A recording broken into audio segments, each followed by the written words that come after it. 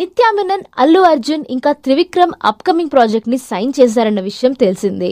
ఇప్పుడు latest update ఏంటంటే నిత్య ఈ సినిమాలో నెగటివ్ రోల్లో కనిపించిపోతున్నారంట. ఈ రూమర్ కనుక నిజమైతే నిత్య తన కెరియర్లో ఫస్ట్ టైం విలన్ రోల్లో వేయబోతున్నారు. నిత్య ఈ సినిమాలో ఉపేంద్ర చెల్లి పాత్ర వేస్తున్నారని కూడా టాక్ నడుస్తోంది. So let's wait and see Nithya Menen negative రోల్లో కనిపిస్తారా లేదా ఈ ఎట్ టు బి టైటిల్ ఎంటర్టైనర్లో?